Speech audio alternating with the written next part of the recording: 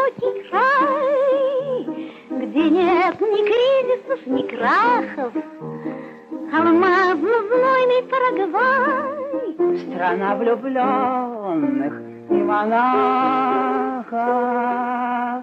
Ах, я хочу, чтоб ты меня взял в Парагвай, а в Парагвай.